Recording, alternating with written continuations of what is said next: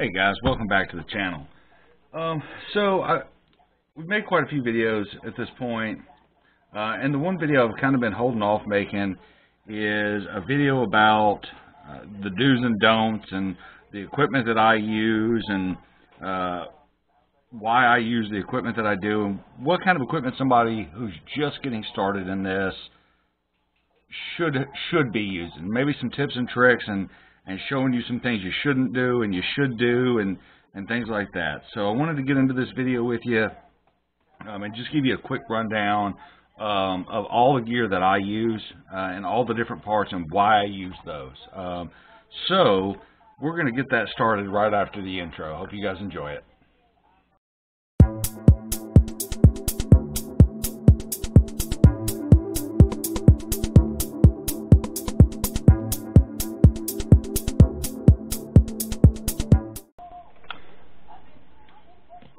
So the very first thing that I want to talk about is screwdrivers um, and and different tools to remove screws and different sorts. So you guys will see me use quite a bit uh, this particular screwdriver on my channel. This is just a powered small and they're eighth inch screwdriver. Um, this thing is powered, charges via USB, very very very handy. However, um, there's a lot of times that that is not the best tool to use, and I go to my standard, um, I, I, don't know what else you'd call it other than your technician screwdriver. Um, you can purchase a set like this. This is a brand called Wonice on Amazon. It's got the extendable uh, extendable lead on the front of it, swivelable swivelable end on it, and it comes in a nice little kit, all packaged up like this. Um, and some of these some of these extra pieces I've just kind of thrown in as I've got, uh, gathered them over time. It comes with little suction cups and little sim removal tools and stuff like that. It's a great little toolkit uh, for about 15, 20 bucks. Um, and it's going to have every size of screw along with your tri-wings for your Nintendos or your security Torxes for your uh, for, for your Xbox or whatever, just multiple different sizes. It is absolutely a kit. I recommend. I, I actually strongly recommend this particular brand. Um, I really, really, really like the small form factor. It tucks in the corner and all the screws or all the bits that come with it. However, I also highly recommend this set with the electronic screwdriver or the digital screwdriver I was just telling you about. It's all motorized. Um, it comes in this little gizmo, this little gizmo set here, um, and the screwdriver just kind of pops into the end of it for storage. Obviously, you know, listen, once you take it out, you're never going to put it back in. You're just going to charge it and leave it. However, one of the things that I love so much about this particular kit is it comes with your standard Phillips uh, and flats uh, and a couple of hex bits that are extra long. And those can be real handy uh, when dealing with a uh, a, a, Nintendo or some of the other game consoles where the screws are deep. Uh, it comes with a lot of the security bits that you're going to need, not all of them. The good thing about this, again, is it's the eighth inch drive, which is the same as this guy, so the bits for this will work in this and vice versa. Um, so if you're looking for a good screwdriver kit to get, I highly recommend this. I don't remember the name, but you can find them uh, on Amazon uh, for really cheap. And I say really cheap. This whole set's about $30, give or take. So not too bad. Um, the next thing that I want to talk about is toothbrushes. Uh, and I say this all the time on my channel, guys, get lots of toothbrushes. Now, you can go out and you can buy your Colgate, your Oral-B's, or whatever you want, or you can go on Amazon and you can buy a bulk pack of these toothbrushes for $15 and it will come with a hundred toothbrushes or more depending on which one you get. You are going to use these a lot. You are going to throw them away uh, because once you get flux in them they get stiff and they no longer bristle properly and all you're doing is smearing the flux on the board. Buy these. Uh, another good thing you can do with them once you're done using them or they're all gunked up you can you can throw them in a, a sink full of soapy water and scrub on something um, and it'll knock most of that off. Now, and I've got several sitting over there that I use for cleaning consoles with, and they're great for cleaning cases. They're great for cleaning boards. They're great for cleaning small parts. Uh, and again, they're so cheap, you can just throw them away when you're when you're done using them. Keep you a whole lot of those around. Very handy. Um, moving on from there, we're going to step up and talk about multimeters. So this is my standard go-to bench multimeter. Uh, this is a Fluke 87V. This is a whole lot of money for a multimeter. Um, I do not necessarily recommend that anyone buys this particular meter. Um, it's fantastic in every way, and it does absolutely everything. It will do temperature measurements. It'll do capacitors, diodes, you name it. It'll check. It'll check AC, DC, amperage, voltage, capacitance, the whole nine yards. This is a great meter. It's true RMS. They don't get much better than this. These are the gold standard when it comes to multimeters, period. Uh, the tilt tilting bail on the back allows you to prop it up and set it where you're most comfortable. It's got a nice, uh, really nice loud beep on it.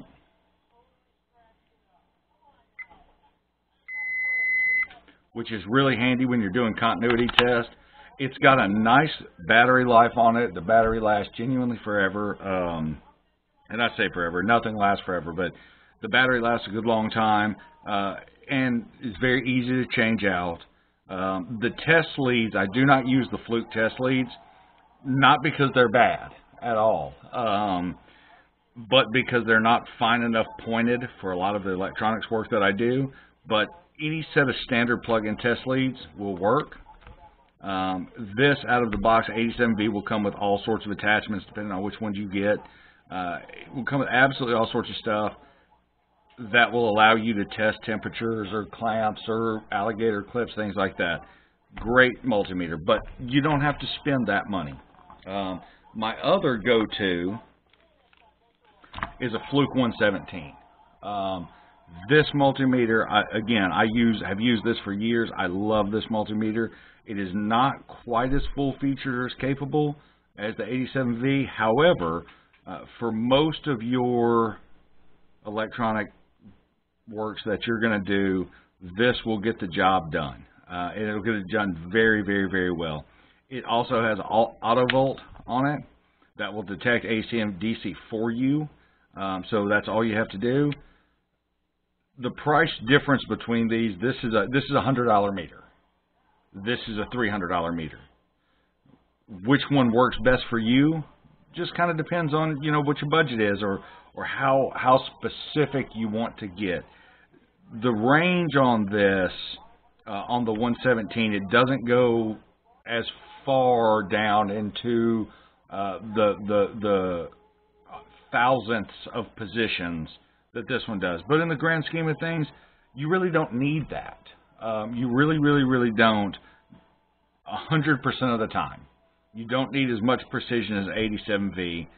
The 117 is absolutely, I use this for years and still use it. If you notice, I keep it clipped to the bottom of my bench. I'll pull it out occasionally in some of my videos and use it. Um, just because it's smaller, I can get it up here where I, where I want it, and versus the size on this one, it's just so much larger. Um, so multimeter, you don't have to get a fluke. It's the gold standard. Uh, Ampro makes some great ones, and there's some other ones uh, that are that are highly recommended. I am, like I said, a, a, a huge advocate of using a fluke. Um, I've been using them for years as an electrician by trade. I cannot recommend them enough. Um, but you don't have to. You just want something that's going to be a good quality meter and give you a good, reliable, uh, good, reliable number. Um, so go with something like that. You won't you won't regret it. Um, the next thing we're going to talk about are tweezers. You're going to want an assortment of tweezers. Uh, and the ones that you'll see me use the most are going to be just the standard fine point tweezers. And you'll also see me use these broad point tweezers. Okay, These have a much broader tip, and they're great for grabbing a hold of screws. Um, they're great for grabbing a hold of other components. They're not as fine detail work, but they are very handy. When I pulled these out, I thought I probably won't use those much, but I'll give them a shot. I ended up loving these. They are my go-to 90% of the time. Um, the other gold standard is a good set of angled, like this, okay? Um, they're very good. You can buy these for cheap. The brand that I use and that I'm using right now is from Xcool or Xul or I'm not sure what it is to be honest with you. Hmm. Anyway, you can get these on Amazon. They'll come in a little uh, in a little package like this, and it's got all sorts of assortments in here. Again, 12, 15 bucks for this assortment. It's a great little kit. Um, you'll pull out the tweezers that you want to use, and you will keep them on your bench, and the rest of them you'll roll back up.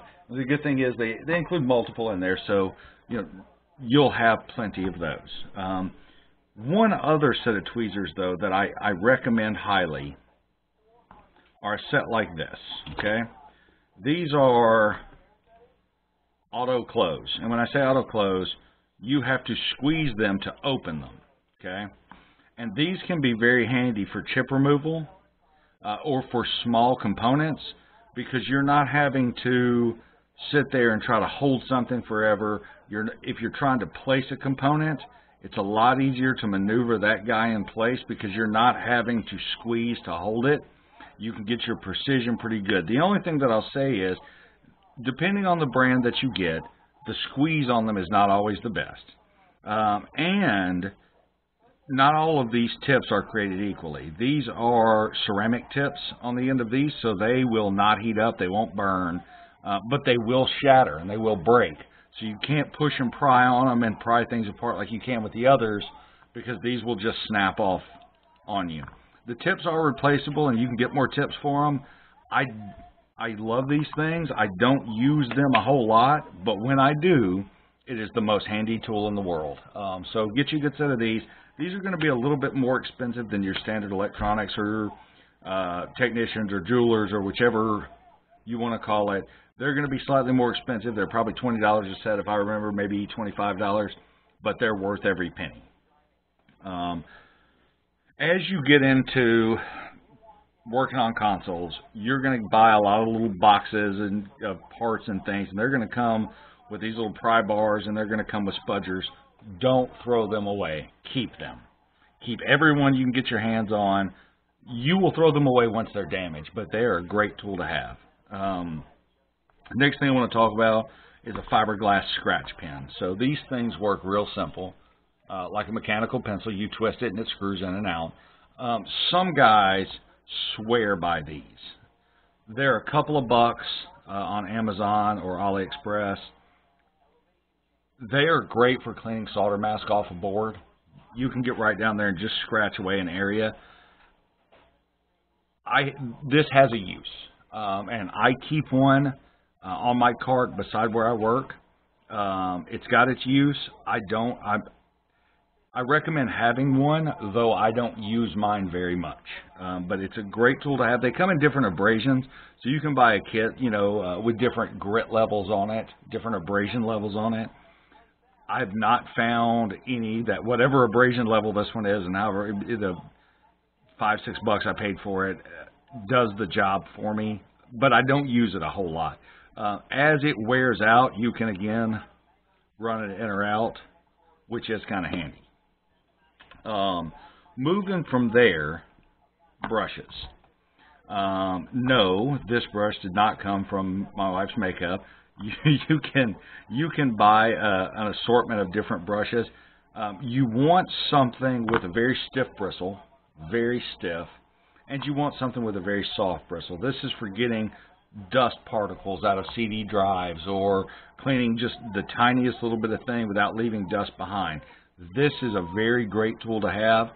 You won't use this a whole lot, but when you do, uh, it will make it will be all the difference in the world. So you want to definitely get you an assortment. You can buy them in a kit again, Amazon, eBay, AliExpress, something like that, um, and it'll come in a pouch full of different brushes and uh, you know of different bristle heights and shapes and things like that. Most of them you won't use.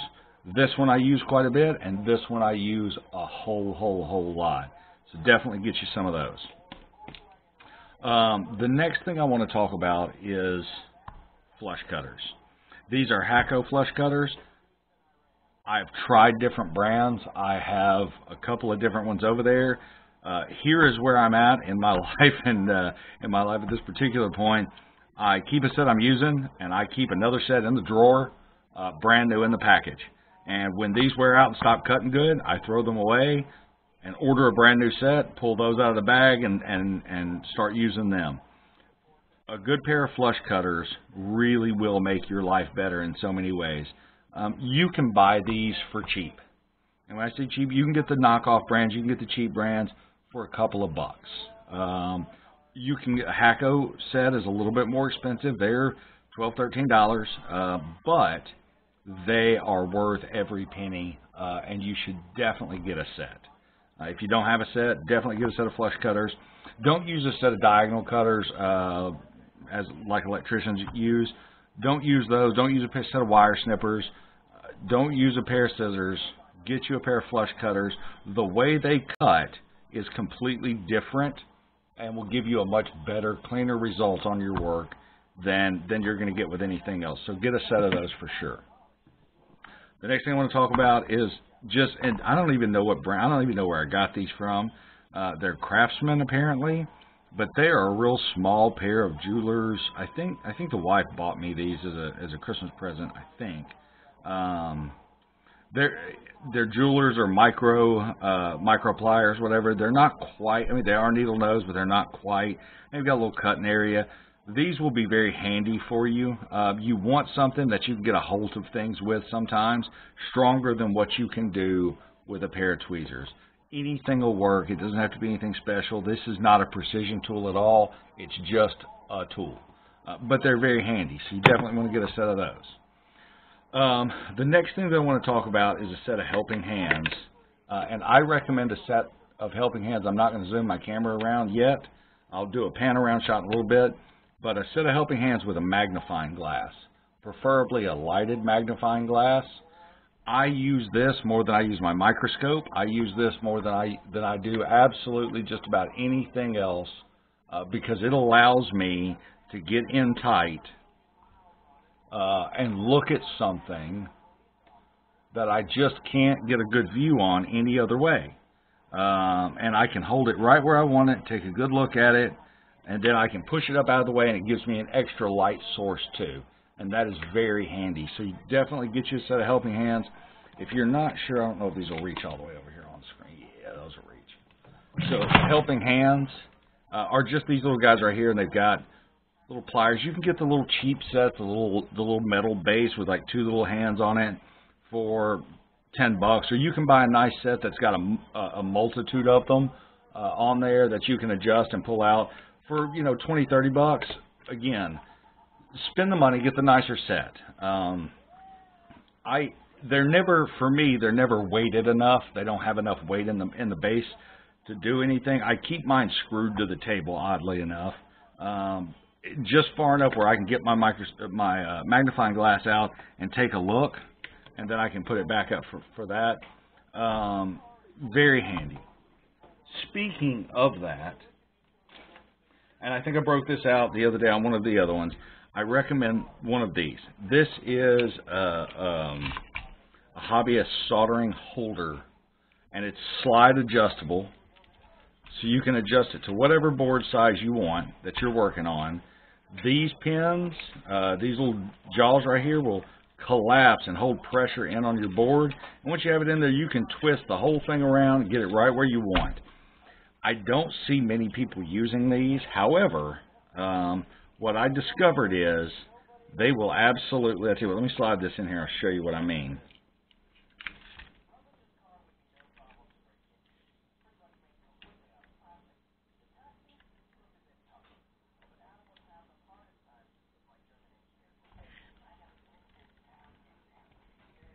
A little bit of tension on him, and you can rotate that whole board around.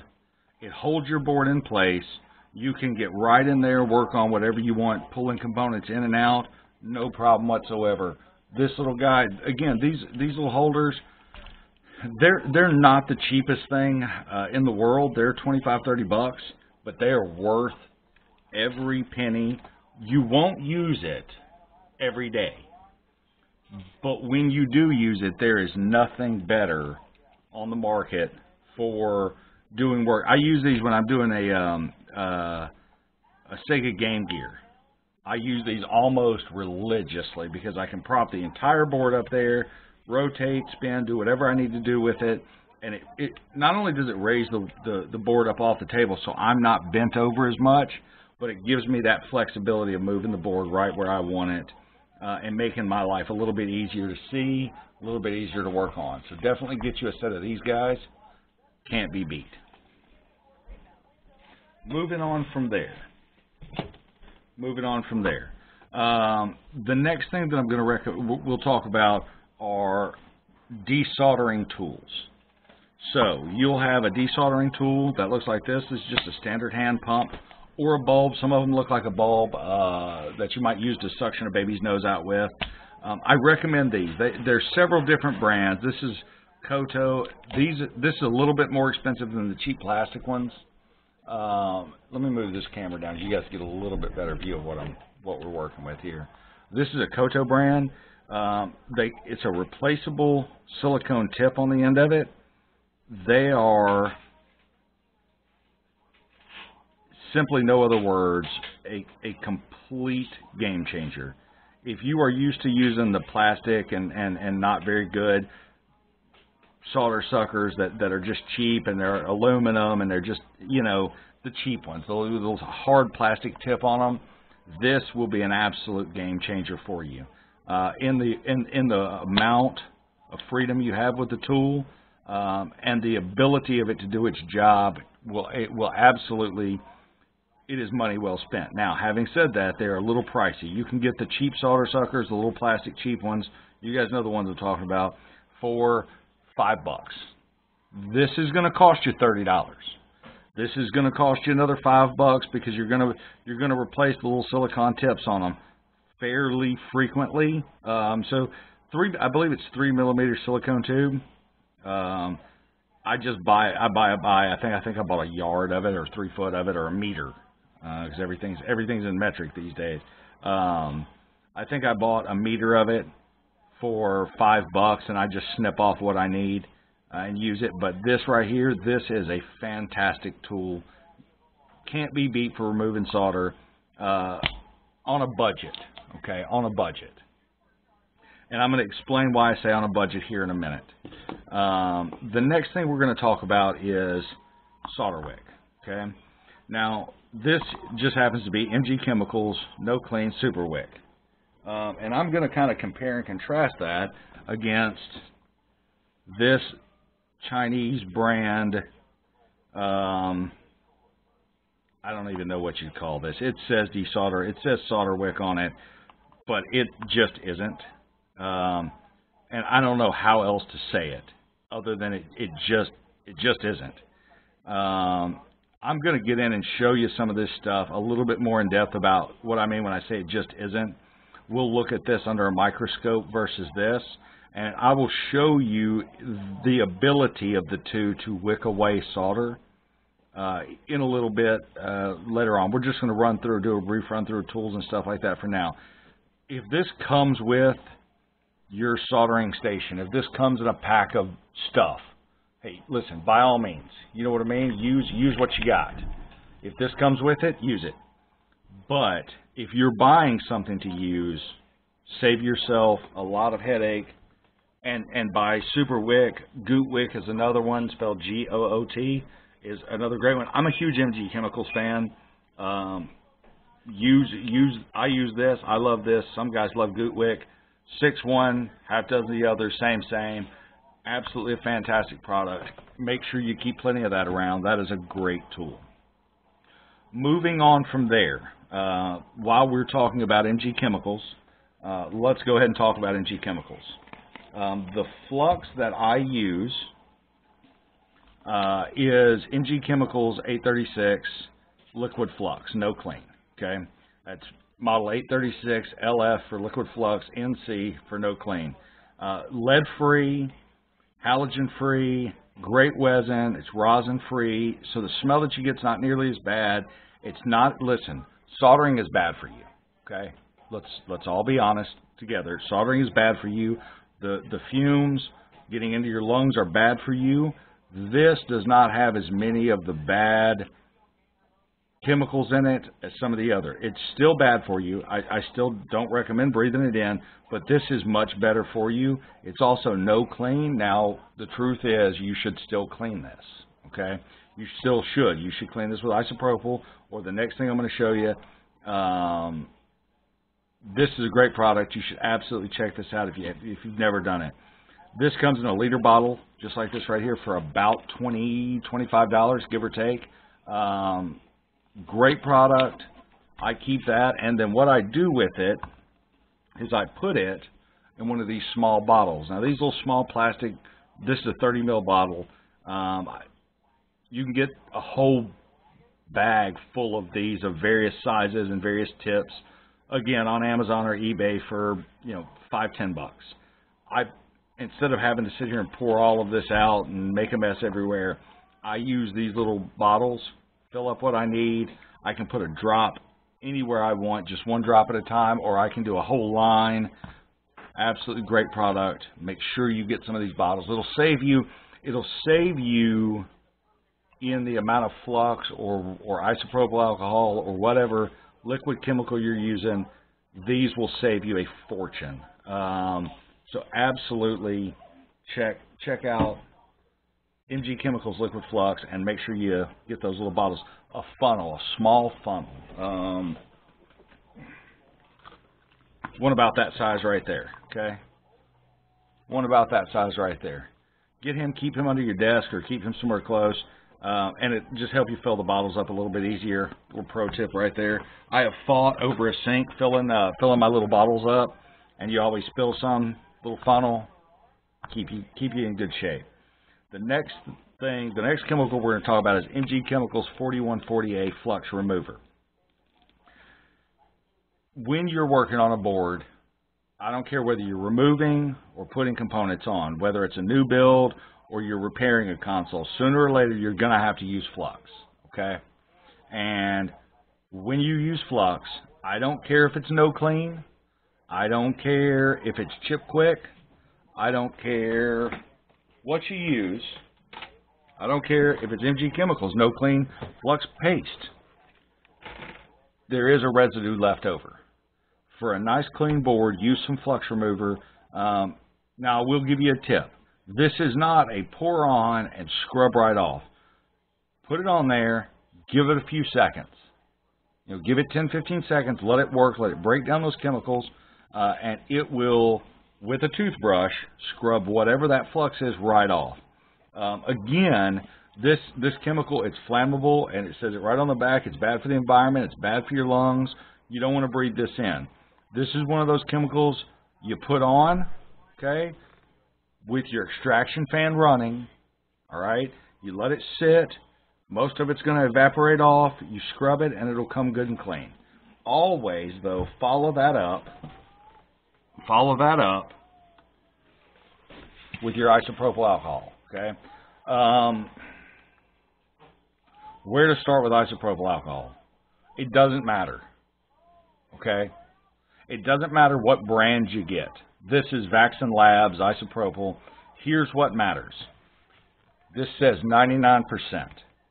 Do not waste your money at CVS or Walmart or Walgreens or Amazon or anybody anywhere else with the small little liter bottles of 93% or 91% for $15, 20 tops, you can get a gallon jug of 99% isopropyl alcohol.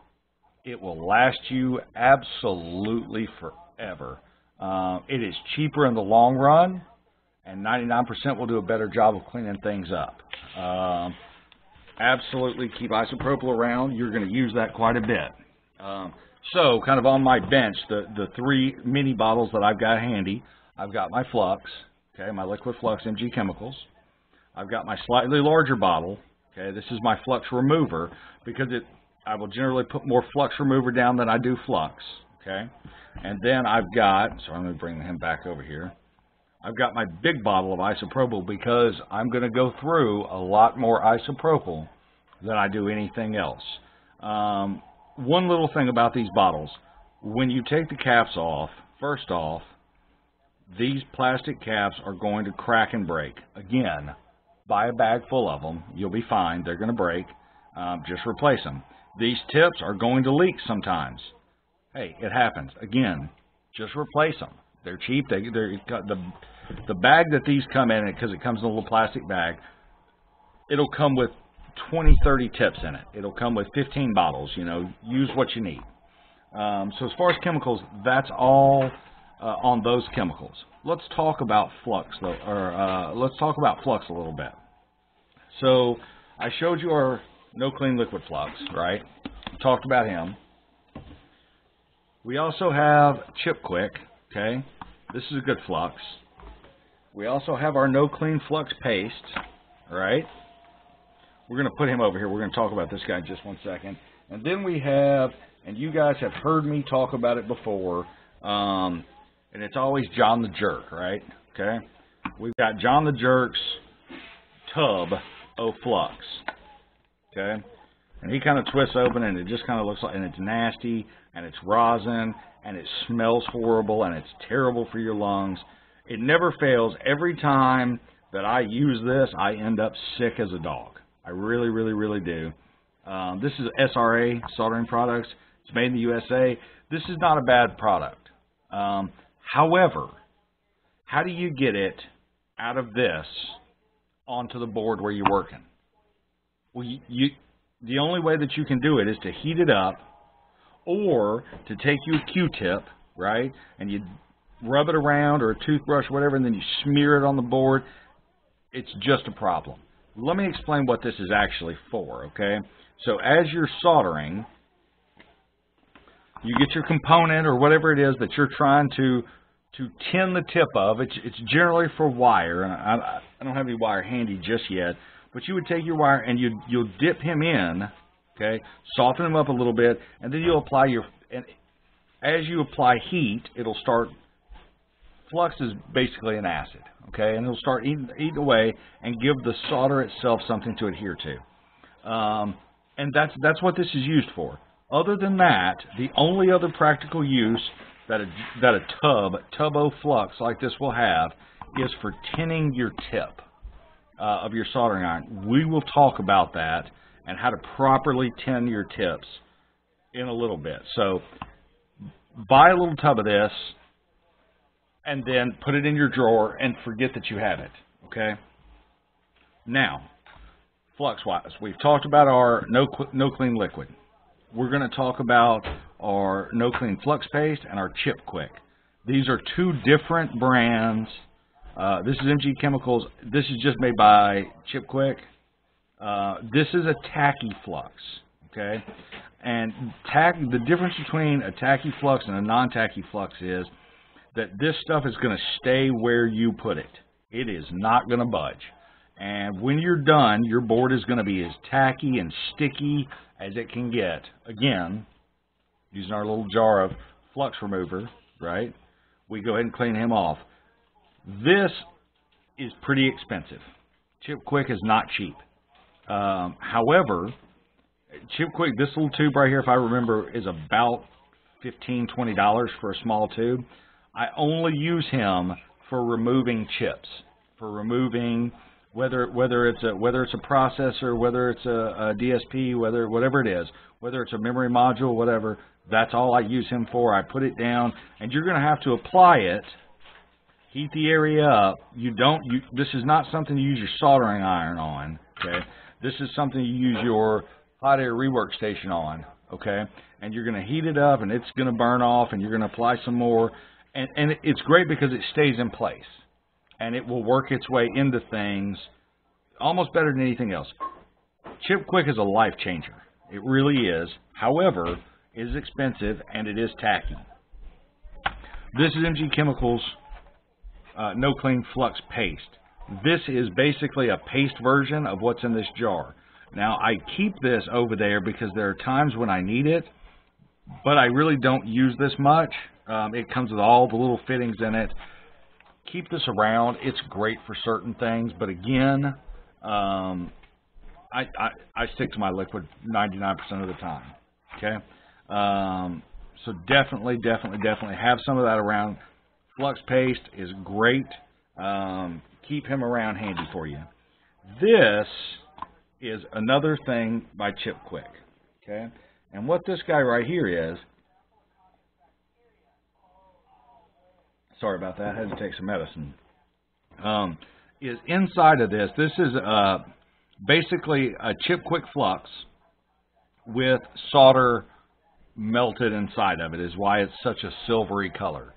Um, and so you'll see on my YouTube channel and other guys' YouTube channels where they're working on an area, and after they wick away all the all the pad, they're gonna they'll want to apply solder balls or something else.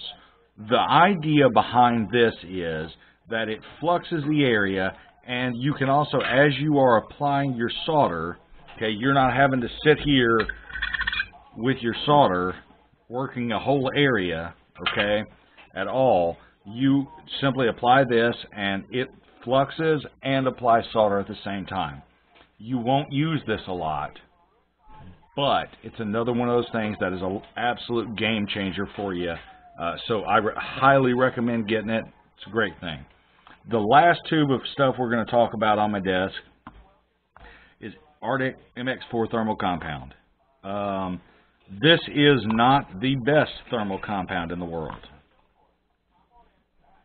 but maybe it is. Okay, um, and let me explain why. So this tube right here. Let me dig in my little my little magic drawer over here. Uh, my little drawer of stuff. Just one second. Where did I put him? Ah, here we go. This tube of Arctic MX4 thermal compound is about $15. Okay, it's a huge tube. I don't remember. It's 20 grams of thermal compound. I don't remember how many milliliters or whatever. This is Thermal Grizzly's Cryonaut. Okay, now, without a doubt, um, per watt meter Kelvin, okay, which is the way this is measured, Cryonaut is by far the best. However, this little jar right here, this little syringe right here, was also $15. Let me see if I can get him out and give you a size reference of $15. So this is our Cryonaut. This is our Arctic MX4. Now, according to according to all the information I can get, um, Cryonaut thermal paste is good to about uh, 11.5 to 12 uh, watts per meter Kelvin. MX4 is 9 to 10. What's the difference? Maybe 5 degrees Celsius, if that, on a and we're talking about on a, on a, on a very high-end PC. On a console, nothing. No difference whatsoever. Uh, as a point of reference, I recently switched over my laptop uh, from MX4 to Thermal Grizzly because I tend to run my, my laptop pretty hard when I'm when I'm editing videos, and I wanted every little last bit I could get. On a four-hour run, uh, running Shotcut, editing the uh, Jaguar video, and I say a four-hour run. It took four hours to to export one portion of the video. 100% uh, CPU load, and it's a Core i5 10500U, I think. Anyway, um, average temps on MX4 were 82C. Average temps on Cryonaut were 81C. it's cooler. But why would I use anything but this? MX4 is kind of the gold standard. Get you a big tube of it. I will tell you this: these uh, these twist caps, they just get stuck on there. I don't know why, but they do. Um, get you a pair of pliers and twist them off. That's all I can tell you on that. Um, moving on from there. scalpels, knives, picks, prods. You guys will see me in my video. I'm a huge fan. um, of my my pocket knife, and you'll see some guys will use scalpels uh, and some guys, different things. Of guys as a scraping, picking, prying, cutting tool. It's all what you like. Um, I just happen. To, this is a Kershaw. I I don't remember the exact one. Uh, I think it's a Niantic. I think, uh, but I just happen to like my pocket knife. Um, this is not my everyday carry. As a matter of fact, it stays on my bench 100% of the time. It never leaves here. Uh, it just stays here, always right there. Um, and half the time in the video, once I've opened it up, I toss it up there and leave the guy sitting up there uh, out of the way. Uh, but whether you use a scalpel, whether you use a razor knife, whether you use an X-Acto knife, whether you use a pocket knife, whether you don't like any of those, okay, that's a personal preference type of a thing, all right? Whatever you feel most comfortable with, and I feel most comfortable with using my pocket knife, so that's what I use. Uh, I have a whole nice little set of, of, of scalpels and X-Acto knives. I don't use them. I use my pocket knife 100% of the time. If I've got to scrape a trace off, if I've got to clean something up, if I've got to cut a trace, um, if I've got to cut wire, if I've got to strip wire. Um, I bought this set of wire strippers um, D Professional Tools. I bought this set uh, because Voultar recommended it, and he said they're the this is it. This is the gold standard. Buy these. This is the greatest thing in the world, and he recommended it, and so I thought I'd give them a try. I'm an electrician by trade, and these are not wire strippers. They're just garbage. Okay. Uh, again, I'm an electrician by trade. I've traveled all over the country. I have terminated wire as big as 1000 kcmil all the way down to 40 gauge. These are not wire strippers. They are just garbage. Um, I would not wish these on my worst enemy. I hate them. I've tried to use them. I've looked up. I've, I've actually looked up videos. Um, it's got an adjustable depth stop for for you know how far you want to strip the wire again, I've looked up videos on how to use these. On maybe I'm doing it wrong. I've tried to adjust them, tighter or looser. They're just garbage. Um, you may love these. Voultar certainly seems to love these, and he is by far much better than I am. Um, but to me, that was a complete waste of twenty dollars. Um, for me, stripping wire again, back to my pocket knife is what I use. Um, but again, I've been stripping wire with a pocket knife for years. You know, I'm not saying that you should. I'm just saying that's what I use. And the most important thing to remember, and it doesn't matter any of these tools, any of the things that we've looked at or that we're going to look at today, the most important thing for you guys is what are you comfortable with? Okay? What tool do you feel the most comfortable with? That's the tool you want to use. Okay? Now, there are some tools that are just bad tools and you need to adjust yourself for. But being comfortable with the tool that you have and the tool that you're used to using makes the difference between getting really good and having a great result or, be, or, or never getting good and having terrible results. So find the tool that you're comfortable with and use that. This is what I use. Um, and this is what I recommend other people to use. I believe in these in these things. Um, moving on from there, uh, we're going to talk about Kapton tape or polyimide tape. Okay, you can buy a pack. This is a Chinese brand. I don't know that I can't even pronounce it. Um, Kapton tape. Kapton tape is a high temp masking tape. Uh, it's electrically non-conductive and it's rated for high temperatures. Um, if you are working on a circuit board and you see like a yellowish tape, that's what Kapton that that's Kapton tape. Okay, uh, and they put it down for a number of reasons. First off, again, it's electrically non-conductive. It will absorb. It will take plenty of heat. Um, and when I say plenty of heat, you can just about put your soldering iron to it and it won't burn. Um, I don't know what the temperature rating of this is. It doesn't say anywhere, but I've not been able to burn it. It'll melt a little bit, but I haven't been able to burn it. Anyway, Kapton tape. Definitely keep some of that around. You're going to need it. The next thing that I'm going to recommend to you, this is a, oh, cool. It's the same brand as the people that make my, my little map, uh, which we should talk about, I guess. Um, Kasai, Kasai. Real ultra thin double sided tape. Okay? This stuff is very thin. It's double sided. It can be a little bit of a pain to work with. However, um, buy you a pack of this. You can stick all sorts of things down. It'll help you guide wires without using uh, without using uh, hot glue gun. It'll help you do all sorts of things. Um, the reason that I bought this actually is if you're working on a Wii U, those little squares you have to take off and and then they never go back on. They never stay back on. You can cut. This is actually the perfect size, the small one. You can just cut the square off, stick it to the bottom. It's there. You're done. Great product. Absolutely recommend. Um, moving on from there, let's talk about wire. Now there are all kinds of different wires that you can buy, uh, and all kinds of different gauges. This is just standard silicone wire. I believe this is uh, 24 gauge, I believe.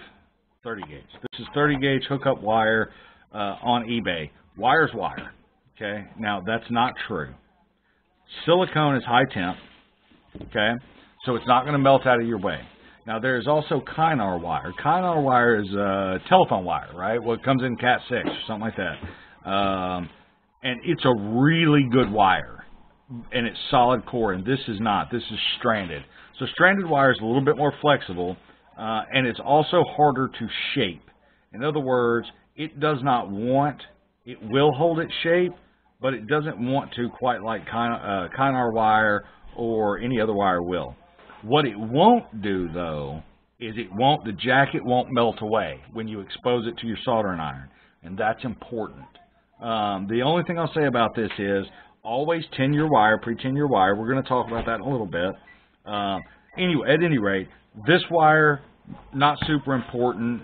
The gauge of the wire is important. Okay, the gauge of the wire is important. I have 30 gauge. I've got all the way down to 36 gauge. We've got all the way up to 20 gauge. Um, just depends on what you're trying to do. Um, it, will come in a strand of, of, multiple, or I say a strand. It'll come in a box full of multiple colors.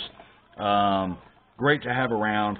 Again, this is great to have. Also, again, Kynar wire, um, which I can't find my box right now. I don't know where it went. Um, but it's a solid wire, okay, and it's great to have around. Now, moving on from there, and this is our little Chinese brand of this is 34 all wire gauge. This is wrapping wire, okay? Uh, and or they call it wrapping wire, or they'll call it music wire, or they'll call it magnet wire. It's all the same thing, okay? Uh, what makes this difference? This is epoxy coated wire, okay?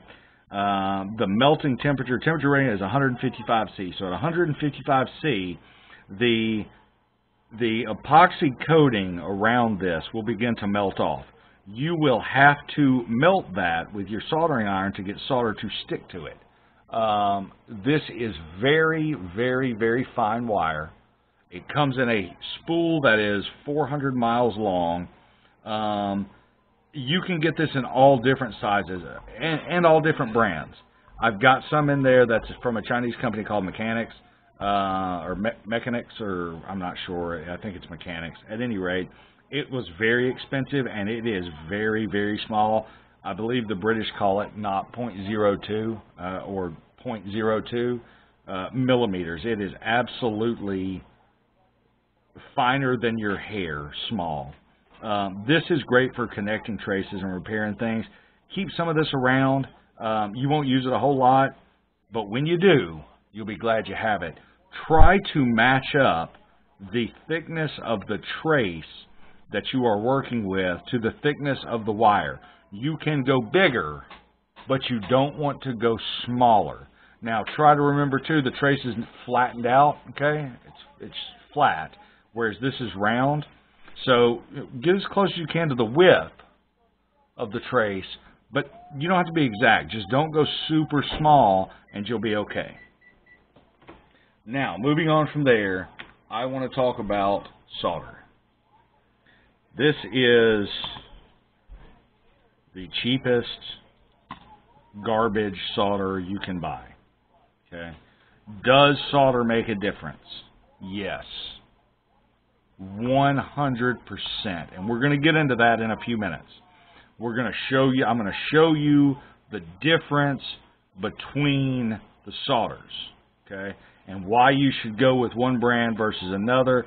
I'm going to show that to you. I want you to see it in person. I want you to see it on video with your own eyes. I want you to see it. Um, solder is critical to the job and the quality that you're going to get.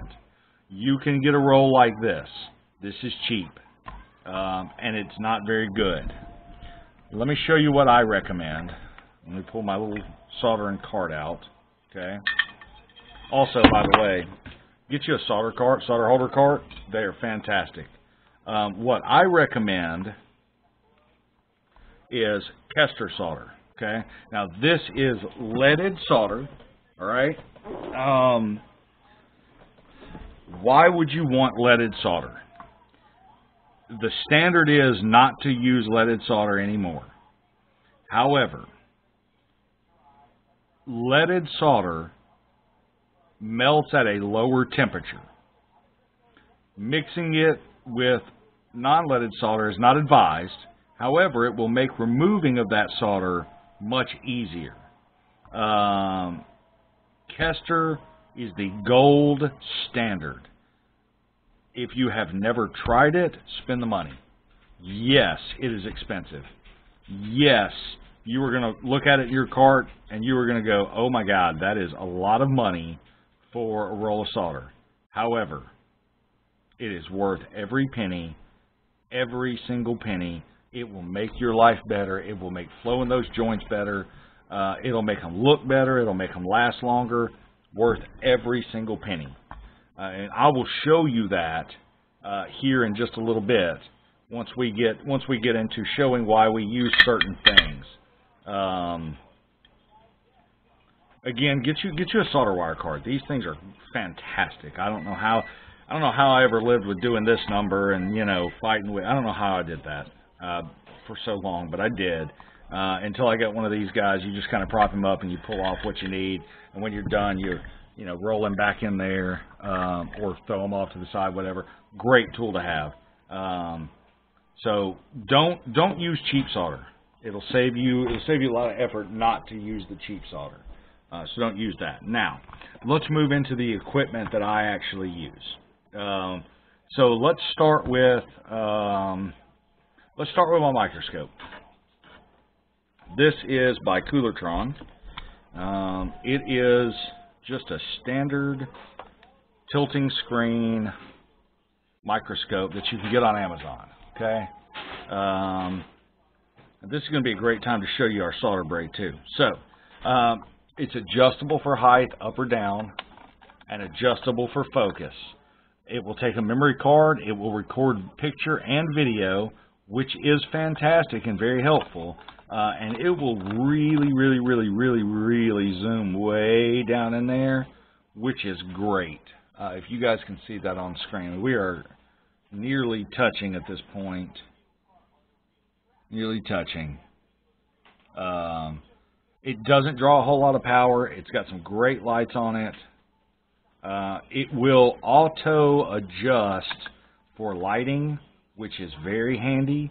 It'll come with a couple of different microscope hoods. Now, this is not an expensive microscope. However, uh, while it's and when I say it's not an expensive microscope, I think I paid 100 to 120 bucks for this guy.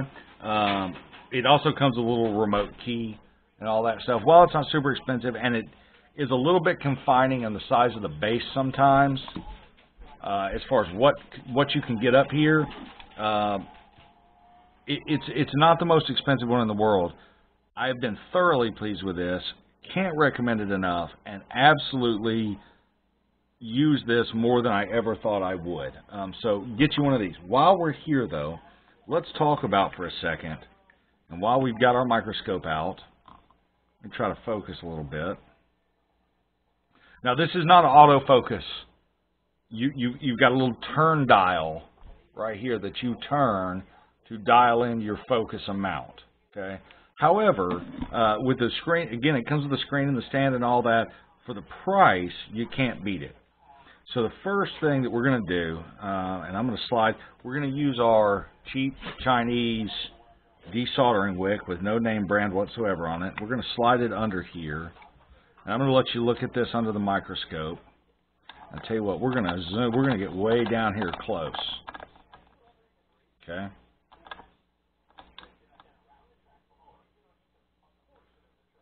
Okay.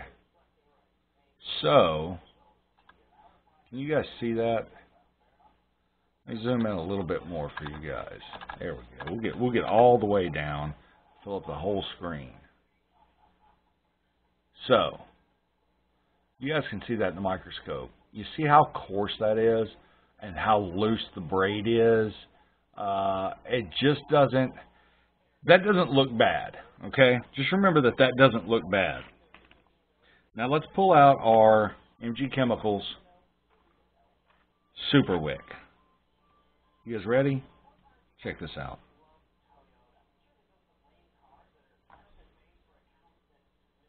Now, that, see how tight everything is? See how much finer everything looks? See the braid on it is so much difference? Let me zoom out. We're going to put these side by side. I'm going to keep our, if I can, zoom out where we can get them side by side on screen and focus this in. Okay, that's our MG Chemicals. And we're going to slide up our Chinese no-name brand right up here beside it. There you go. There's your difference.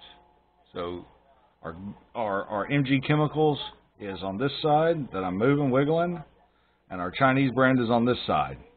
Okay? Can you see the difference? Okay? Can you see the difference, the build, the build quality difference in it? Can you see how much tighter our MG Chemicals brand is? Um, can you see can you see the, how much finer the strands are and how much tighter the weave is? That's the difference.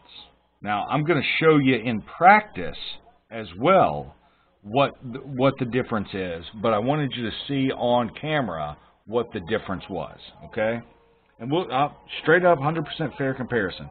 That's a great that's a great tool to show you that. At any rate, uh, you don't have to buy these. They come in all different brands, uh, and I say brands. They come in all different shapes and sizes and costs and things like that. You don't have to go all out and spend the same amount. You can spend more if you want. Uh, but this is a great product that I love, and I cannot recommend it enough. Um,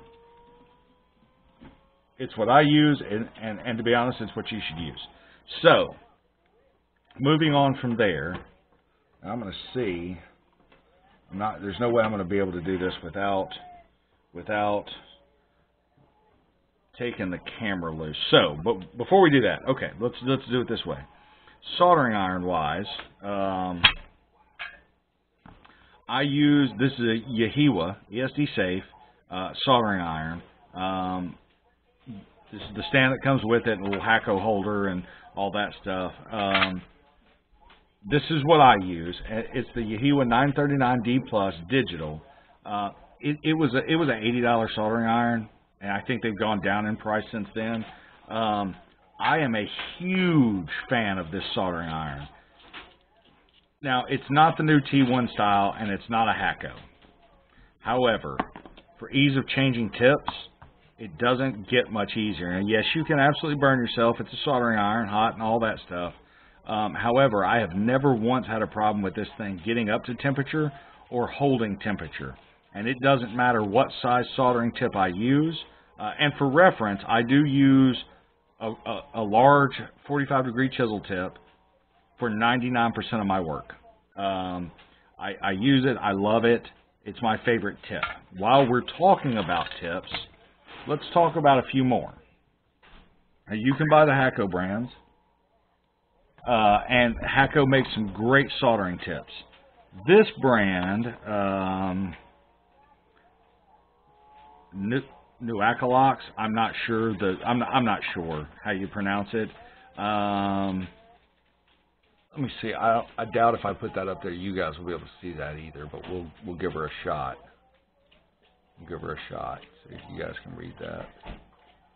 Probably not, huh? New, new, new, Nua, Nua Kalox. Um, anyway, these tips I've been stunned by how good they are. Uh, I have used a bunch of them, and I keep them up here in my little bin. I've got a 45. I've got a little 45J tip. I've got a smaller chisel.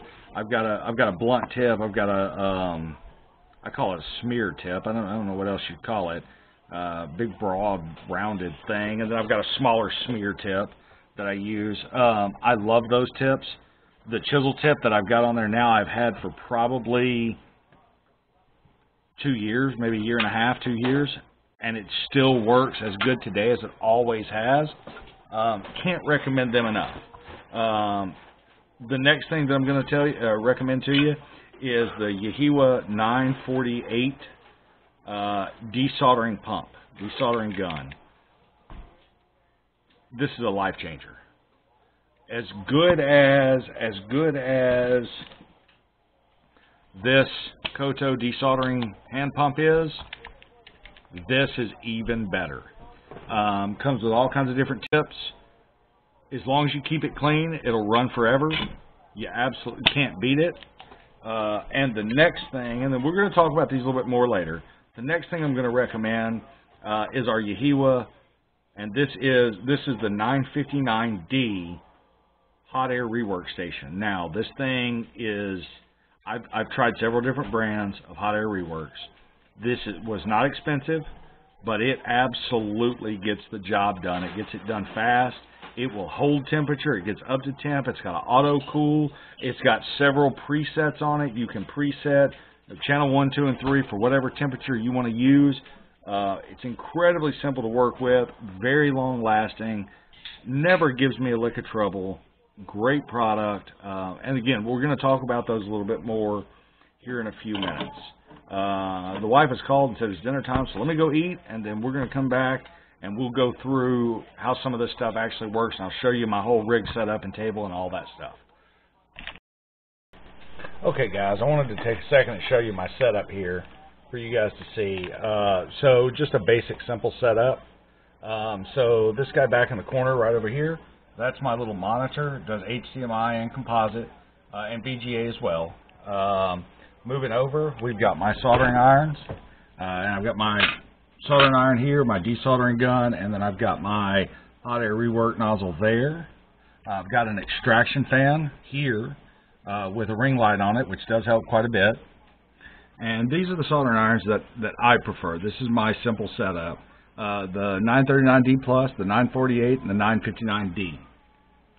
Um, as well as my meter. And then over here on this side, I've just got my random things, uh, whether it's uh, whether it's books of uh, capacitors and resistors or or uh, extra work table if I need that, um, and then multiple cartridges up there that I happen to be working on on my shelf and whatever random things that I need. Um, in the back over here, I've got a multi-port USB that gives me a voltage. I've got a Kill A Watt down below too, kind of keep helps me keep track of um, how much voltage that I'm pulling and things like that. Uh, and then my extra large work mat that I've got here. Uh, to do all my work on that you guys see. These guys too, um, and I've talked about them before on the channel, these are just silicone dish mats for your kitchen. Um, they are incredibly handy, and I can get that dirty without getting my main mat dirty. Um, buy these, uh, again, over here I've got a smaller one that I used for years, uh, and I do really enjoy that one. However, this one is much larger and gives me a lot more room to work with. Um, beyond all that, I've just got my lights that I've got, and then my camera mount sits up top. Um, but that's that's my workstation. That's my layout. Uh, I keep everything right close at hand, uh, so so as I'm working, I can get right to it without having to move too far away. And that's what you want. You want you want your setup to be nice and close to you. Uh, when I turn all my gear on, um, again, the good thing that I like about the 939 uh, D Plus is the adjustable, and again, this thing will hold temperature like nobody's business. Again, this one, multiple channels, you can pre-program, dial your temperature in and out exactly where you want it in your flow. Um, really great hot air rework station.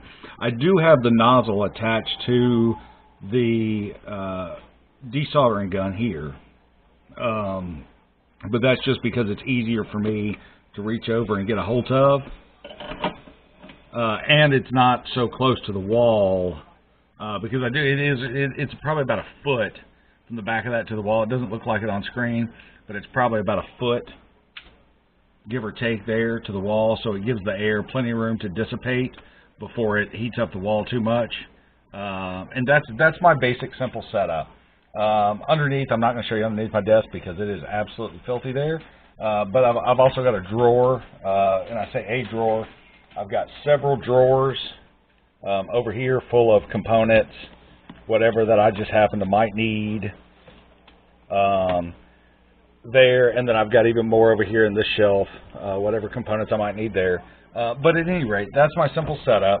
Um, those are the tools that I use for the job uh, to kind of fit in with the video that we've already shown you uh, thus far. So the next step of this video is going to be showing you guys the differences in soldering and, and, and some techniques and some tips, along with the differences in some of our solder braid that we talked about earlier, our little Chinese knockoff solder braid and our good solder, solder wick and uh, some of the other stuff. So let's get into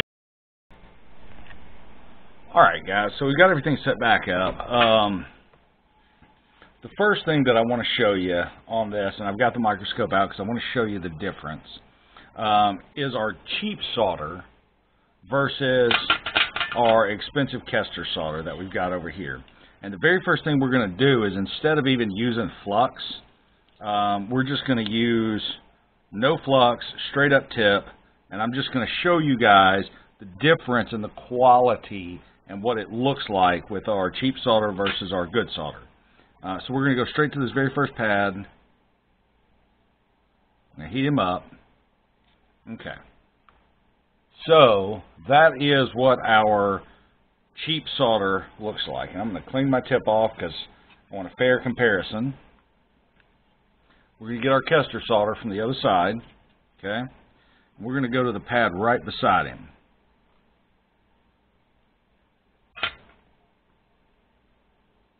And there is the difference.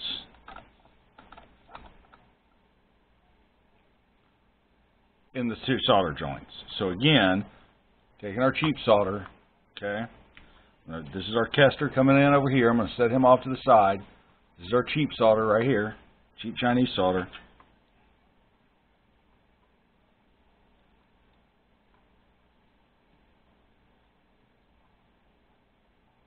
Okay. See how it looks kind of dull? Okay. Uh, and I'll get you a better view of that right here in just a second. And again, going back to our Kester solder, right beside him. Slide that over so you guys can see it. Okay. You guys can see the difference. Okay. So, why does why, why, why does it do that? impurities, okay? That's why.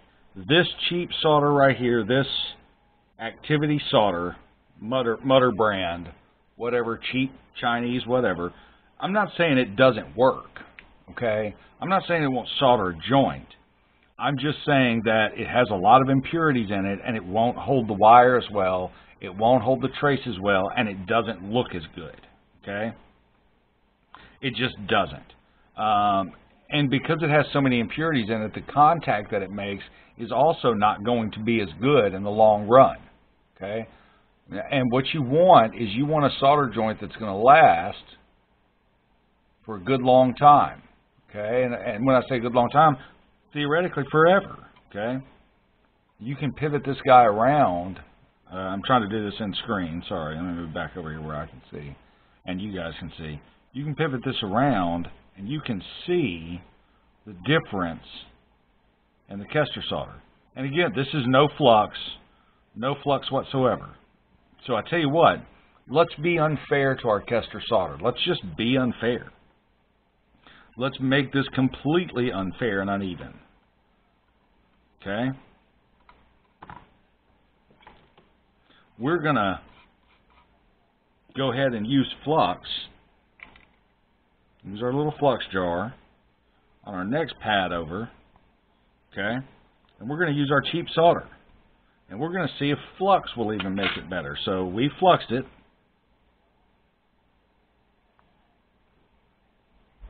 Look at that. Look at that.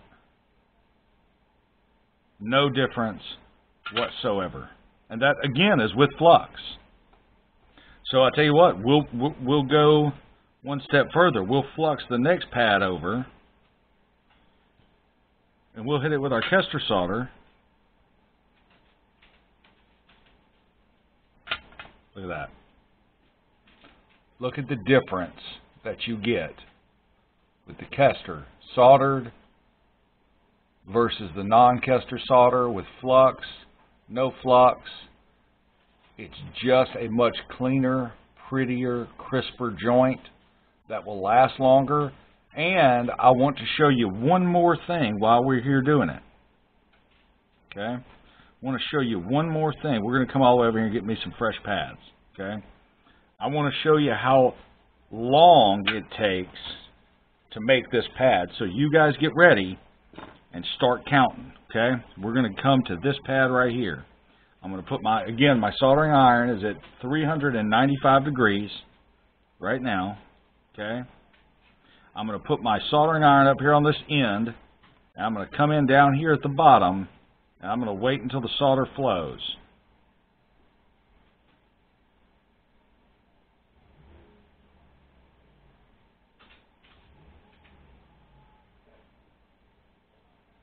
See that? See how long that takes? Think about how much heat I had to put into that board to get it to do that. Okay? Now we're going to come right beside it. No solder.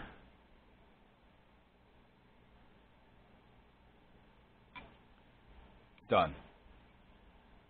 A fraction of the time. A fraction of the time, guys. And again, this is why I use the Kester solder. It's just a prettier, cleaner joint all the way around. Okay? Come down here to some of these vias.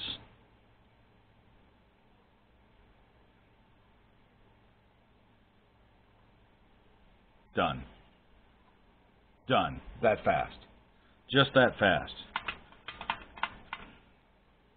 You take our your cheap solder, okay? Take your cheap solder.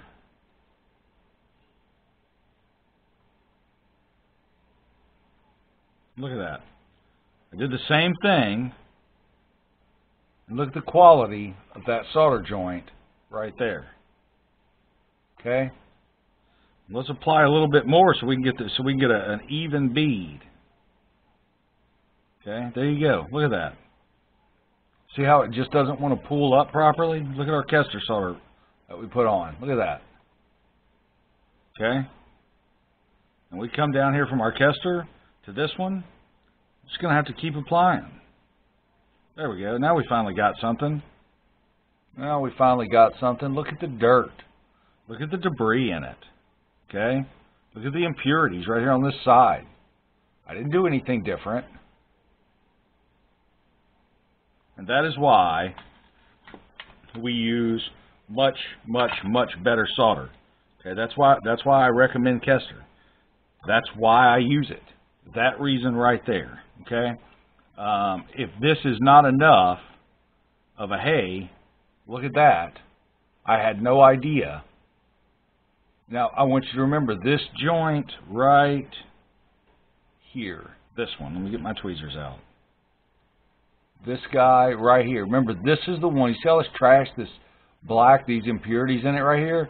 This was with flux, okay? Look at our Kester beside it.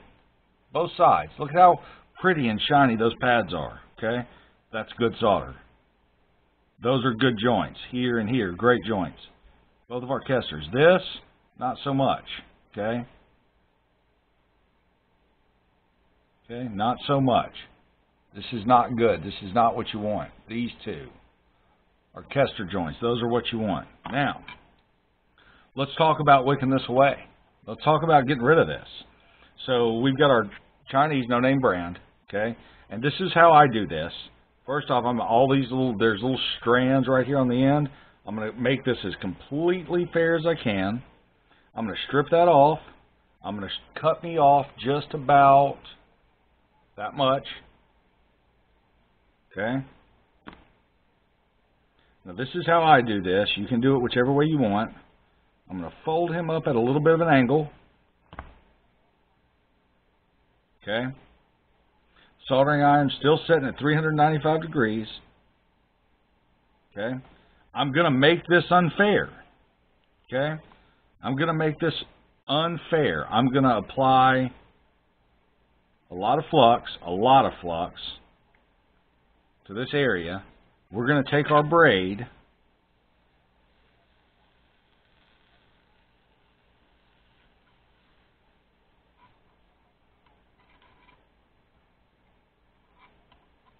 Tell you what, let me prop something underneath this because he's wanting to rock around. I want you guys, I want to be able to put some pressure on it and get it where you guys can see. Here we go.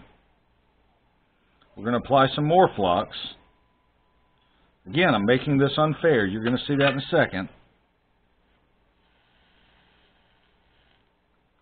We're just holding our iron down at this point. There we go. Now,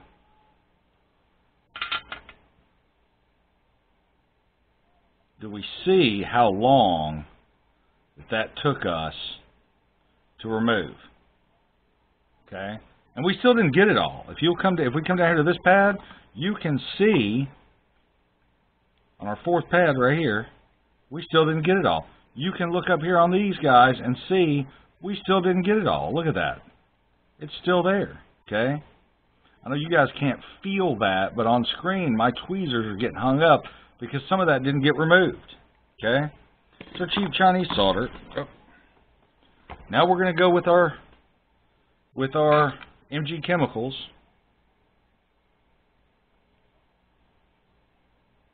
I'm going to cut a bigger piece than I just used, right? You would think, well, is that really a disadvantage? Oh, absolutely it is. And let me explain why it's a big disadvantage. Because now I have to heat up even more wick than I than I did with the other. Okay? Now, we're just going to, let me get this up here so you guys can see it good in the, in the shot. Get it where I can put a little bit of weight on it, a little bit of pressure on it. Here we go.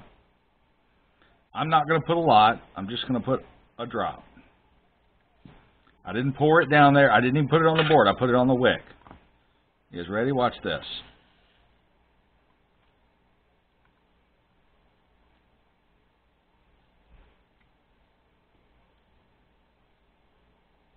In mere seconds. In mere seconds. We got nearly all of it in mere seconds. Okay? In mere seconds. What's the difference? We had a bigger piece, okay? We applied with our smaller Chinese flux. We, we took I say Chinese, with our smaller, cheap, junky uh, solder braid, we had to apply a lot more flux, we had to apply a lot more heat, and it took a lot more time than with our MG chemicals. This is why we use our MG chemicals. This is why, right here. Because it's faster, it's cleaner, and the job it leaves behind is a better pad for us to work with. Well, yeah, but is it really a better pad? Well, let me show you. Again, we're going to take our I'm not even going to reflux it. I'm not even going to go through the trouble of refluxing it, okay? I'm just going to take my soldering iron and I'm going to quickly wipe over these pads. Pull them back up here. Look at that. Look at that. Now you can tell, you can tell the pads that had the not so good flux on it from that one right there that had all Kester solder. You can tell. Okay? You can tell. Right? So if you wanted to know why I say we use Kester solder, this is why. This right here, this This is the exact reason why. Because we want as good of a job, we want as good of a quality as we can get. And even though it is a little bit more expensive, it is worth the money in the long run. I'm going to set this guy aside. And we're going to, I'm going to show you now how to tin, properly tin your soldering iron tip, okay? Now, there is initial tin, okay? When you get a brand new soldering iron, like this one, this one I've never even used, okay, or soldering iron tip. This guy I've never even used. He's brand new, literally brand new. This one that I've had on here for what seems like forever, um, we'll start with this guy. So when we go to, every time you use your tip, okay, you'll see a couple of different, you'll see people recommend, you know, recommend using these brass wool is what I it. It's like, it's like a SOS pad, but it's made out of brass in these little cups, okay? And the reason it's brass is because it won't damage the tip, but it will, all the solder will absorb into the brass, okay? You don't want to use, what you don't want to use, if I can even get it out of here, is a sponge, okay? And I'm gonna I'm gonna show you why. So if I load up my tip with solder, okay, and I've applied a liberal amount of solder. If I just take this guy over here and let me pan my camera over, okay, clean. Clean as a whistle, right? clean and shiny. All the solder came off. We left a small film, right? But what we didn't do is we didn't damage our tip. Okay? When you go, we're going to apply, again, a liberal amount. And I'm going to come over here. I'm going to tilt my camera over to our to our sponge. You see those streaks? And it didn't all come off and we've still got solder left on our tip. And I don't know let me let me bring this up here where you guys can see this. See those strings of solder that are there? All that was I was having to force it off of the tip.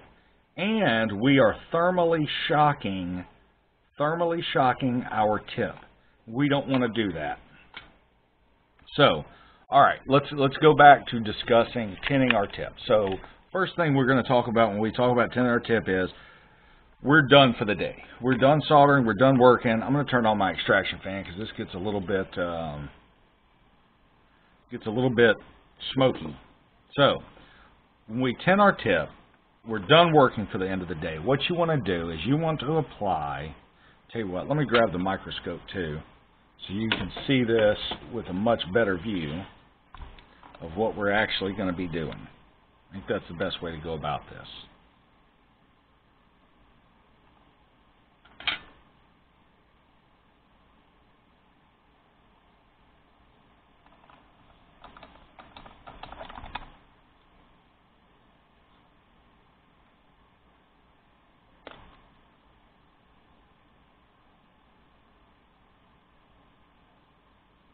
Okay.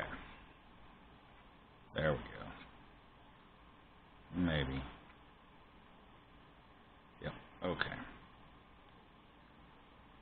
So, when you tin your tip and you're done working for the day, what you want to do is you want to take your solder and you want to apply you a good bead down both sides, sorry, trying to trying to keep it in shot for you. Uh, both sides of your tip, okay? Just a good bead, just a good heavy bead of solder okay? And then you can put it up and shut your iron off, and you're done, okay? Shut your iron off. That solder that is on that tip will in, will insulate it and protect it from any sort of oxidation that may damage the tip of your soldering iron, okay? Now, and again, when you're done, you just simply take him, you fire him back up once he comes up to temp, and you are ready to go and your tip is good and clean and there's no debris on it and it will last a good long time. See that little silvery shine we've got on him right there? That's what you're looking for, okay? That's what you're looking for, trying to keep him in shot for you. It's a little bit of a challenge. Um, that's what you're looking for, okay? Nothing to it. All right? If you are simply replacing a component and you're going to solder the component, and then you're going to move away and come somewhere else and solder another one and come back, and you're doing these in fairly rapid succession, no need, no need to, to, to tin it and wipe it off and tin it. No need to do all that. You know, if you've worked and you've got a little bit on there, you can just simply stick them in there. It, it'll be fine. Here's what I always say. More than five minutes, brush them off, tin our tip, put a good bead on him, okay? Put a good bead on him, like that, okay? And drop him in there, and then if, if more than five minutes, more than whatever, just go ahead and let him sit there, all right? And he's fine. Okay? Now, how do we tin a brand new tip? Okay? So, we're done with this tip for now. So what I'm going to do is I'm going to go ahead and tin him up real good. And then I'm going to switch him over. Okay? Now you can do this hot or you can wait for it to cool down. If you're going to do this hot, exercise extreme caution. Okay? Don't do what I'm doing because he's going to be very, very, very warm. Exercise extreme caution. This tip is 395 degrees Celsius. That is really, really, really hot for you. That will really, really, really hurt you. Okay? I'm going to set our tip there. We're going to grab our brand new tip. Exercise extreme caution around this. This is still hot. The tip of this of our soldering iron, not just our tip that we took off, but our soldering iron itself is still, still 395 plus degrees Celsius. Science. The science. Not the, not the centigrade. Science. Okay? Not freedom units. Science. That is about at my button, 741 degrees in freedom units. Okay, it's, it's 395 degrees Celsius. All right? So, we've got a brand new tip, right? And we are excited and we are ready to use this and all of the good things. So, do you remember I told you about our rosin paste flux tub that is garbage and you shouldn't use? Okay? This is where that comes in. Okay? And I'm going to show you how you do this. Now, there are lots of different ways you can. I'm going to show you the right way. I'm going to show you the best way and the fastest way. I'm going to show you the way that works, and we'll make sure that you can use that tip for a long time. First thing you're going to want to do, and I'm moving my extractor closer because this is going to put out a lot of fumes, and it's that nasty rosin fumes as well okay? Um, and so the reason you want to tend this uh, is if you go with, let me set him over here for now. If you go with a brand new tip, and especially these finer pointed ones, okay, uh, these finer pointed guys like this right here, the tip doesn't like to work properly, doesn't like to solder properly unless it's fully tinned correctly. Okay, so here's how you do that. First thing you're going to want to do is let's find out if it's up to temp by just touching it. Okay, we're up to temp. All right? We're going to take this guy, we're going to dunk him in here, and just let him set for a second. You can wiggle him around a little bit. Now, what this rosin core flux is doing, all right, is it is etching, acid etching our tip. Now, we're going to take our solder, and we're going to just put a healthy dollop, a huge amount of flux, or a huge amount of solder, of leaded solder, okay, on our tip, just to absolutely, until it is almost ready to drip off, okay? And we're just, you see how it's still smoking? That's what we want, okay? That's what we want. And we're just going to keep applying, okay? we're just going to continue to apply fresh solder, leaded solder, to it. And when he is absolutely cooked, and even if you drip some off in here, that's fine, when he is cooked, all right, and I mean just burnt in, okay, like this. Give it a few seconds, give it a minute or two. No rush here. Okay? Now we're going to take our brass and we're going to clean him back off. Okay? And now we've got a good tinned tip. It has a layer of solder on it, and there is nowhere you can touch on that soldering iron that it will not take solder. And that's what you're looking for. If you run if you run your solder across your tip somewhere and it will not if the solder won't melt right there, then you have not done a good job tinning. Here's what you do. Okay? Go back in your flux, your paste flux. Again, run him around a little bit. Heat him up. It's all good.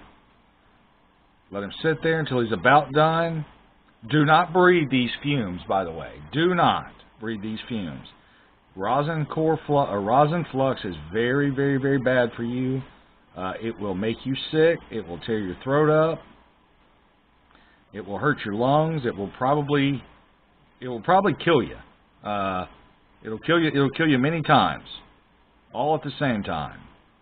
Okay, and again, we're just applying a healthy, a healthy, huge amount of, of solder, way excessive. If it drops off, we're just going to keep applying. Okay?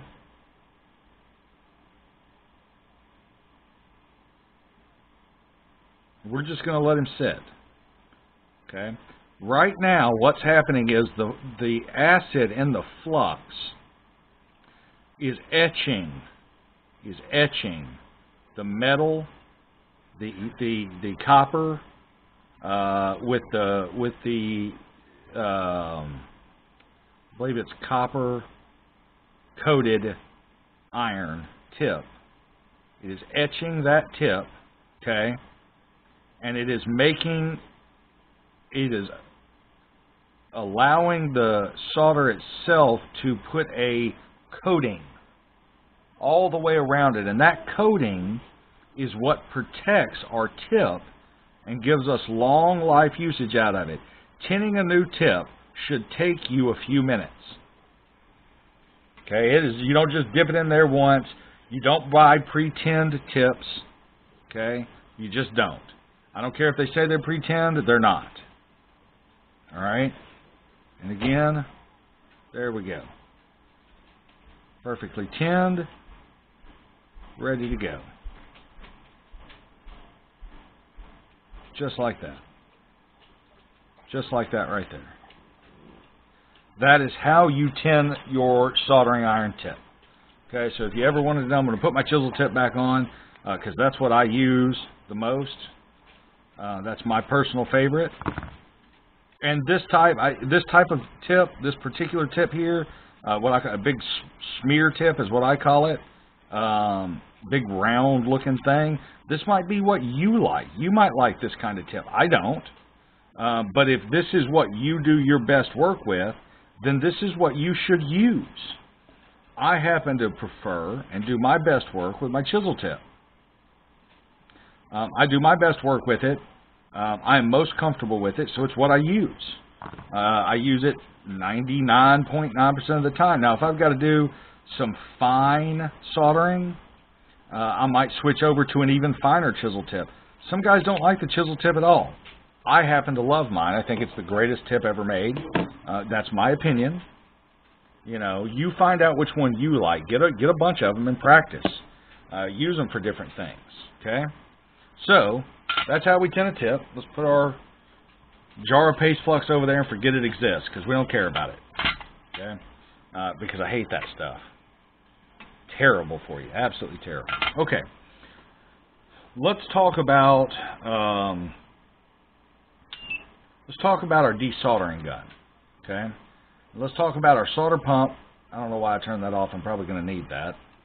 Let's turn him back on. See if I can bring him back over.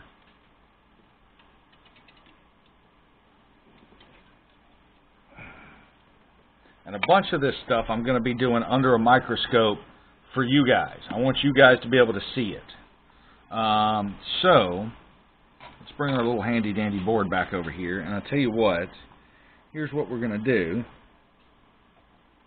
do. Um, I'm going to take some flux right around in this area, put a little flux down,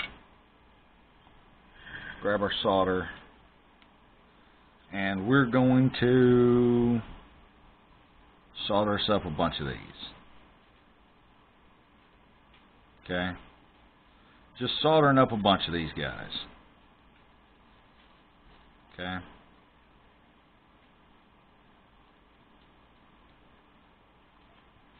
There we go. We're going to just put a bunch of a bunch of solder down here. Now you see this swirl technique that I'm doing here? Uh, this right here, if you're ever trying to make uh, or, or trying to add flux to a large area, you don't want to swipe like this. You don't want to come up and down. You want to do a, a circle, okay? Circles tend to be a lot better. Okay, there we go. Now, let's talk about, while that's heating up, we've seen solder braid. Let's talk about our desoldering hand pump, okay? Um, so what we're going to do, here's how this guy works. Here's how here's how you should do this. You want to come up here to the to the particular pin that you're wanting to work on. We'll say this guy right here. Uh, this guy right here. We're going to heat him up. You see him go molten. Okay. You once you see them go molten, you can advance your your desoldering pump in and hit the button. You want you don't quite you you're not trying to force it. You're not trying to mash down on it. You're just find another one. Here's a good one right here. Okay, so we're gonna come right here. Once we see the whole thing go molten, come in and hit the button. Okay, and he's gonna pull all that solder out for us. Now this is very effective, and again, the effectiveness of these vastly depends on the quality of the tool that you purchased. Okay? And if you guys notice, I don't have to mash. I don't have to push on it. I do have to get it lined up with the right one, though. That's very helpful. Okay? I don't have to force it.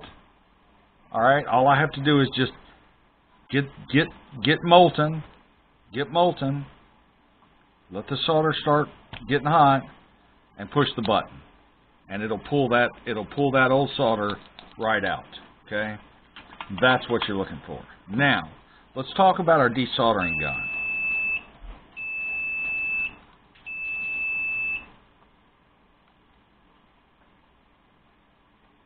Okay? So when you're using your desoldering gun, First thing you want to do before you even get started on anything else, I don't care if you used it five minutes ago, or last night, two days ago, okay? You want to find your little scrubbers, your little wire scrubbers that, that come with all of them. Make a couple of passes inside and just make sure that there's no solder blocking your path And what I like to do is I like to take my soldering, my desoldering gun and put it down on my silicone mat, pull the trigger, and when you lift up, you'll know if it's sucking properly, okay? You'll know. All right? So here's how you do this. And I'm going to have to attempt. Okay, that's a good view right there. All right, so let me, I'm, I'm going to have to hold this and fix the camera for you guys. Okay. So what you want to do is you want to come in with your desoldering gun. You want to put him at a 90 degree angle over the via. Hold it down. Give it a second. Let it warm up. Pull the trigger. And that will evacuate and remove. Okay. 1 1000, 2 1000, 3 1000, 4 1000, 5 1000. Pull the trigger. Okay? Just like that.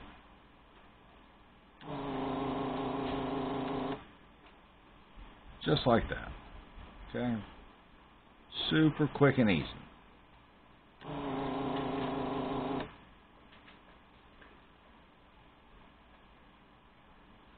The trick is the 90 degree angle. Now, if you actually have a component in there, how you do this is you come in, you advance your soldering iron over the tip of your component, give your five count, then give a little swivel, okay? And then you're going to swivel while you, just a little swivel while you're suctioning. And that will pull all that solder from around the leg, pull it right on out for you, okay? That is how you use your desoldering gun. But, but, you say, but, I'm going to recover this guy right here. What about, what about our hot air station?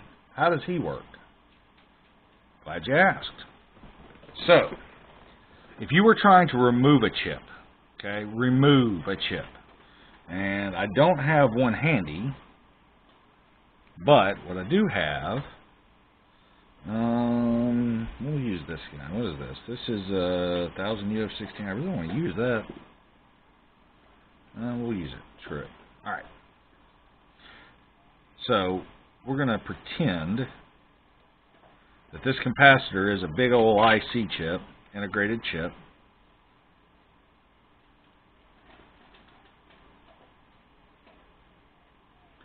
Tack him in place.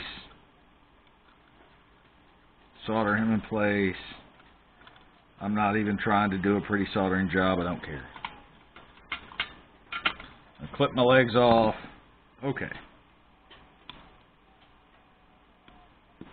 So, what you want to do if you're trying to desolder with a heat gun, um, this is going to go better without, well, I might can do it under a microscope if I can find there's our component, I believe. Oh, okay. Get your flux. Okay. Uh, or in or in this particular case, your Chip Quik, right? Let your let your heat gun come up to temp, not on the board. In other words, don't hold your heat gun on the board to come up to temp. Okay? Don't do that. Let him come up to temp off the board. Okay?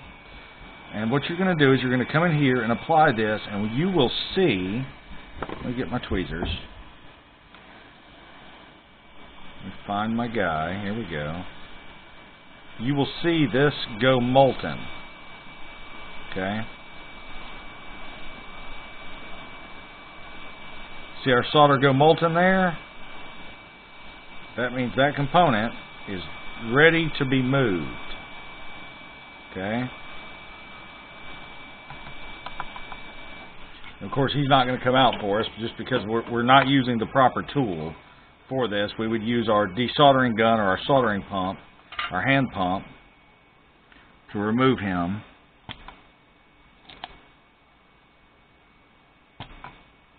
But you get the idea when eh, I don't I don't have a board handy to remove a chip off of that I want to remove a chip off of right now. You, but you want to work that board. You want to heat him up with your with your air gun. Um, you want to heat him up in such a manner that using a circular motion, and I'm gonna I'm gonna kind of show you that here, right? So if we had a big IC right here in the middle of the chip, a big, a big, uh, right here in the middle of the board. We, we would, what we would want to do is work this in a circular fashion. Okay, watching around, watching our solder, okay, go molten, and once we saw it go molten, this is where having your tweezers come in. You just nudge the chip, okay, you just nudge it, and when you nudge it, okay, you'll see it move. When that when that chip starts to move, it's ready. It's ready. You can pull it. Okay?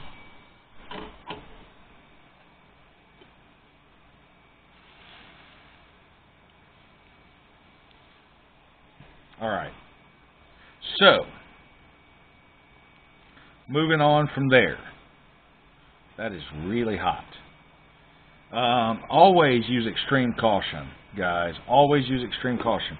Remember that you are working around very hot objects, very dangerous objects. Uh, remember that. Do not forget it. Um, because the second you forget it, uh, the second you're going to get burned or you're going to get hurt. Um, beyond all of that, um, those are the kind of the basics, the intro uh, to to doing board level rework um, and circuit. Uh, I say circuits. We haven't really talked about circuits. We'll do an we'll do another video on circuits and how you um, how you identify the components and capacitors and resistors and uh, diodes and uh, you know, transistors and all. We'll do a whole we'll do a series on these uh, as we go. But I think as an intro, um, I think I've given you a lot of information. I hope that you can use it. I hope that it helps you improve uh, in in your soldering and in your work. What I want you to take away from this is uh, this whole entire conversation. All of this is that there is going to be work, guys, that is outside uh, of your ability. Um, there is work right now today that is outside of my ability to do. Um, and there is nothing, nothing in the world wrong with that. What you want to do is you want to practice. Get you a bunch of these breadboards. Get you a bunch of them. And just play with them. Hone your skills in before you go attacking your console or your controller or whatever, your laptop, whatever you're going to be working on. Hone your skills in and practice, right? Um, buy some buy some soldering, um, do-it-yourself soldering things. You know, little hearts, little flashing hearts and stuff on Amazon. Buy some of those or eBay. Uh, buy them. Practice. Uh, you know, make things. When I first started off, and it's funny, I, I just happened to grab this board. It was sitting out the other day. Um, this is one of the, and this is this board is years old. Um, but I built me a set of flashing lights, uh, flashing LEDs, just to see if I could, just to learn about it, and to practice my soldering. Um, buy the best equipment you can afford. Now, I can go and buy a Hakko soldering iron, but I like my Yihua. Okay, um, I, I like them so much. That's that's the brand that I bought for my equipment. I like the way it works. Um, some guys love Hakko. Buy it. If that's what you like, buy it. Um, and I'm going to show you the next video that I'm going to do. I'm going to do another Sega Genesis, and I'm going to do it using um, the cheapest equipment that I can buy. So I'm not even going to use this guy. I'm going to go dig out one of my one of the old garbage plastic ones with the with the hard plastic nozzle uh, and a non-temperature controlled soldering iron. I'm gonna I'm gonna rework the whole board with it uh, and repair it with just those to show you it can be done. Okay. Now I'm still going to use my good solder and my good flux and my, my isopropyl. I'm still going to use those, right? But as far as the soldering tools, I'm going to use the most basic ones you can get to show you guys that it can be done. Uh, and, and that it's not, it's not outside of your realm. If you're doing this type of stuff a lot, okay, spend the money and buy good equipment. If you're doing it once, you know, and, and you're replacing a capacitor on your NES or your Genesis, you don't need to spend $300 in, in soldering irons and, you know, desoldering guns, and you don't need you don't need to spend a fortune getting all of the tools necessary. You don't need to buy a, a three, a, a you know, $150 microscope. You don't need that. A magnifying glass will do the job for you, and it'll do it really well, you know. Um, but what I want to show you guys is that it can be done, but there are proper techniques. Uh, and I guess that's where I want to end this video, guys, is practice. Practice makes perfect. Get in there. Don't be afraid. Buy you some breadboards. Like I said, some of these guys buy you a handful of resistors and capacitors and LEDs and make you a light, right? Make you just buy you some LEDs and make you a light, okay? Get online and find you some simple circuits and buy the components and just make you some practice.